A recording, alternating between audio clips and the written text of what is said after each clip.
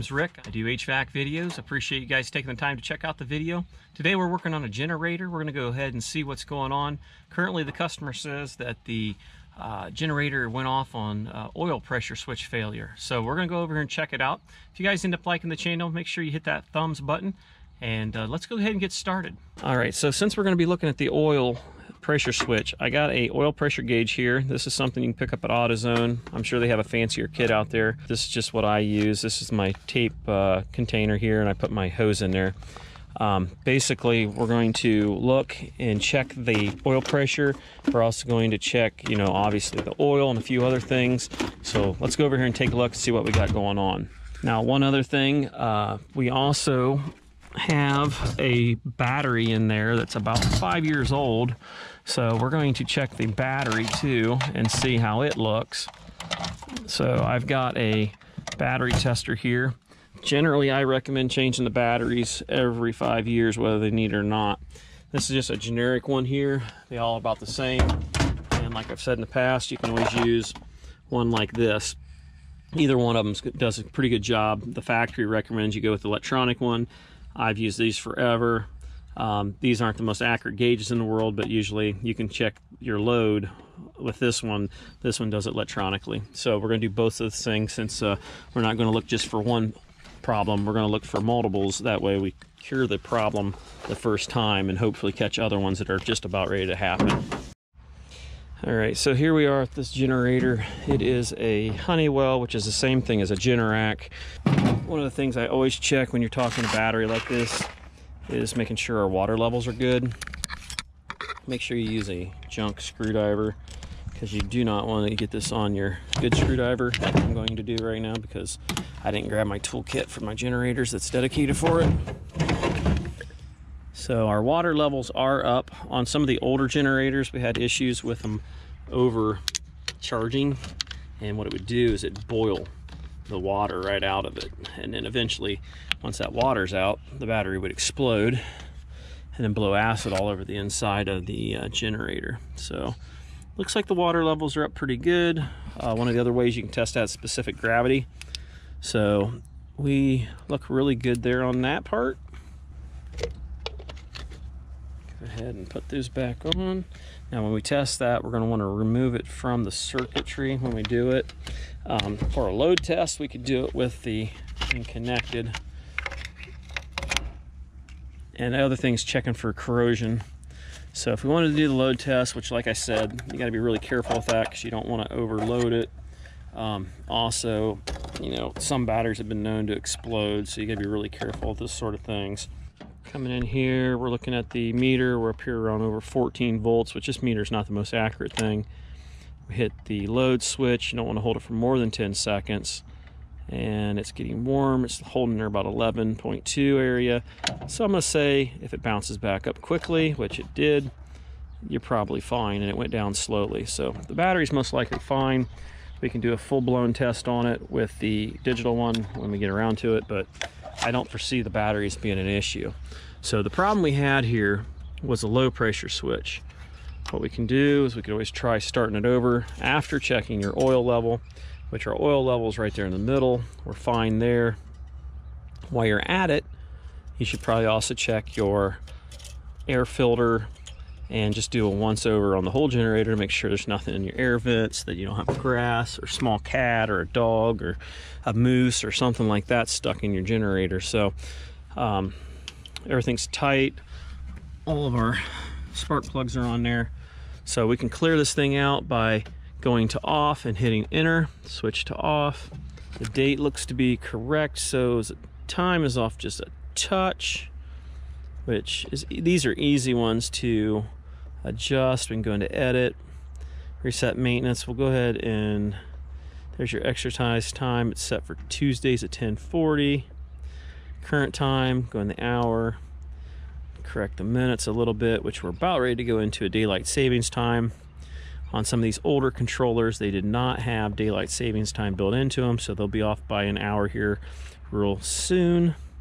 So the date and years what I'm more interested in frequency 60, English, startup delay 10 seconds, reset maintenance. Because we're going to go through it, make sure everything's okay, we'll go ahead and do that. That way they don't call back for something uh, unneeded. Let's go into debug. Let's go into inputs, utility voltage. We're at 243. I think that's about all they show on that one. Yeah. Outputs is going to show your digital codes 000 all the way across. Output 0. You can go in the book and look that stuff up. Here's your displays. It does the full-blown display test, which and then here's quiet test. That'll put it into a quiet test. I myself do not like the quiet test. It has issues. Um, here's your exercise time. If you go in that quiet test mode, yes. I go to no and leave his time the same, he'll have less problems that way. Um, reason being, on these old ones, they had issues with the um, uh, slip rings, which are located down here on the end, actually freezing into place. When the brushes are not making contact with the slip rings, it will not generate voltage and it'll go out on oh, under voltage. And that happens when it's really, really cold out. So we don't want that. Let's go into our current status state off status display run hours how many hours does this thing got? 96 this thing runs a lot which is surprising. Here's your battery voltage 13.8 which seems to be pretty accurate and your frequency which you only see when it's running. So let's go ahead and escape out of this. Let's put on our hearing protection. There we go and flip this thing on and see if it runs for very long. If it doesn't, then we'll go ahead and check the oil pressure switch.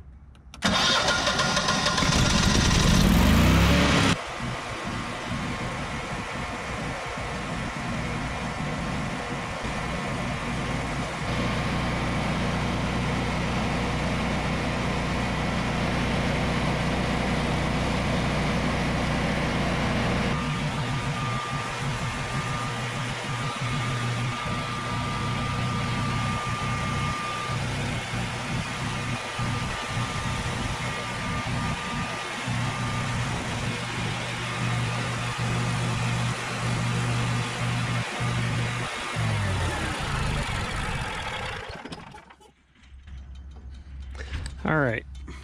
So obviously it ran the whole time until I decided to ground it out.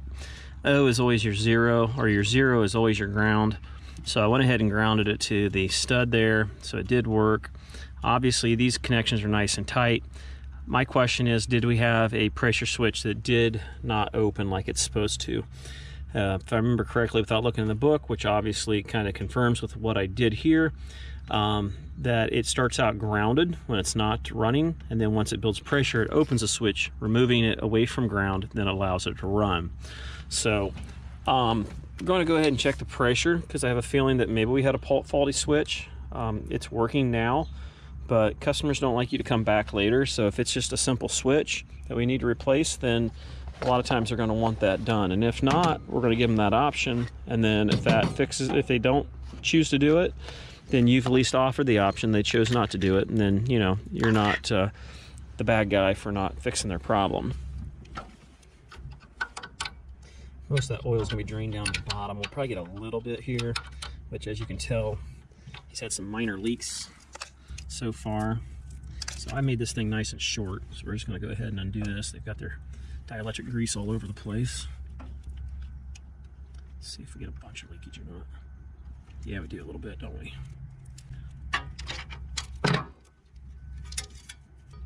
We'll just wipe that up, not a humongous deal. It's not very often that you get these oil failures. I think I've only had to use this thing like once or twice in the last, I don't know, six years, seven years, which I'm not doing. Actually, it's longer than that, holy crap. I started doing these in 06, I think. So, yeah, we just, I don't do a lot of them anymore, so I'm not running into the issues as often as what I used to. Everything's fairly tightened go ahead and start it here. Let's put our headphones back on, our ear protection. It doesn't seem loud at first, but it adds up.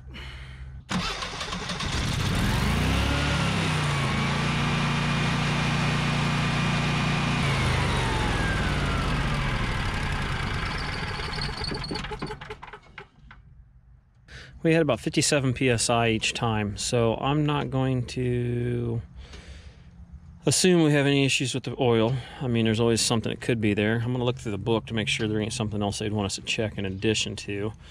But as of right now, it appears to me we had a defective oil switch. See if we can drain this back into the engine.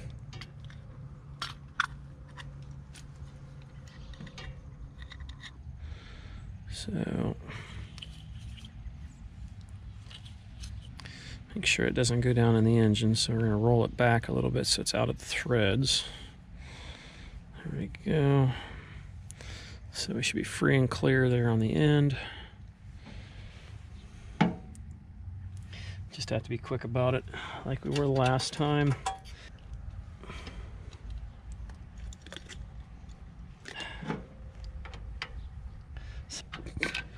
And as you noticed too, it didn't leak even with nothing on it as far as uh, thread sealant.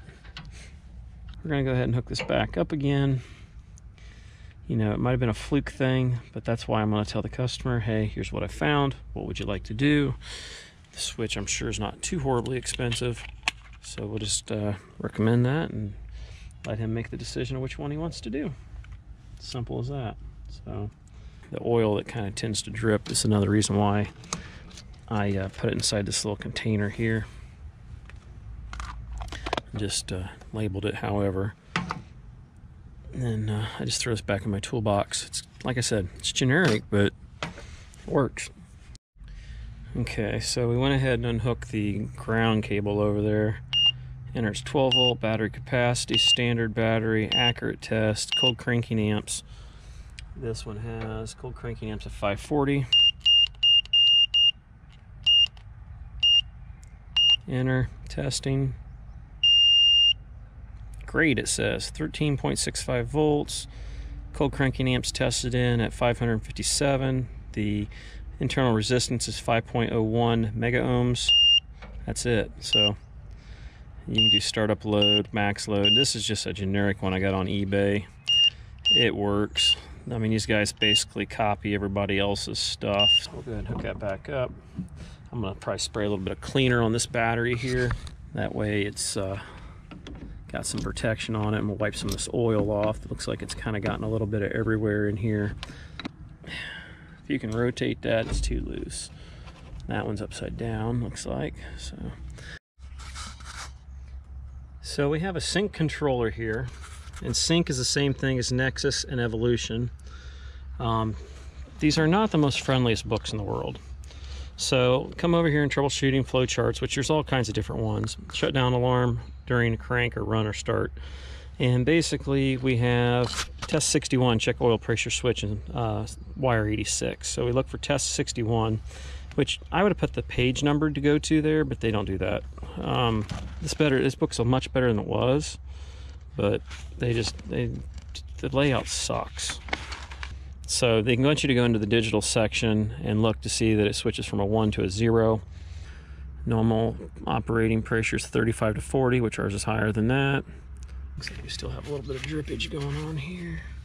Sometimes you're better off just to run a little bit of engine degreaser on this thing, get some of this crap sprayed off, otherwise it tends to drip later. Let's undo that. See how it just changed? Went from zero to one. Starts out in a closed position. So closing it, there's a one, remove it, goes away. So you can do the same thing by running the machine. There's closed, open, closed. So that's fairly tight, no problems there. And like I said, if it was loose, it wouldn't be an issue. Let's go ahead and start it.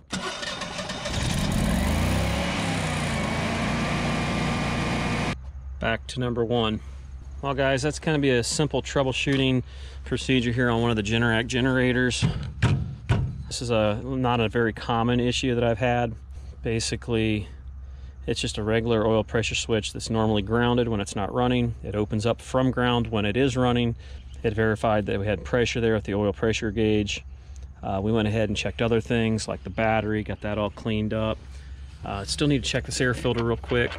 You know, it's a little dumb things that uh, cause problems down the road. So you want to make sure you always check all these other things out to make sure that uh, you're not missing anything. It's going to create other issues down the road. So, uh, got a little bit of oil in that one little pocket, which could be condensation. Like I've said in the past, the um, these have a tendency, you see how that's completely smashed down? You want to raise that just a touch so that just clears it. Just a touch. Because what'll happen is when this is really super cold it'll freeze in place and this is just a lightweight little solenoid. I mean it's very lightweight. Um, I do that to pretty much all of them and uh, that basically helps it start in the winter so if you watch when it tries to start watch what it does when it chokes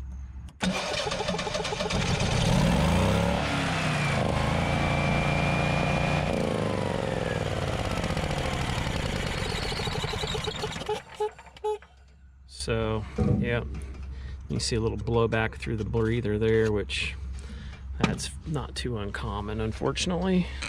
You can see the condensation from starting and stopping. That's another reason why I like the generator when it's going to run, to run full bore and not in that stupid test mode. I know the theory behind it is to save money. Um, honestly, it's for the environmentalists out there uh, so that they're happy um, because you know they want to get rid of all combustion engines, airplanes, cows, meat, anything else that makes life enjoyable. So um, basically, uh, they put this little gimmicks on there to satisfy them to make EPA happy. So anyhow, um, that wraps that thing up, guys. I'm gonna blow this thing out with my little blower, and then we'll call this thing a day.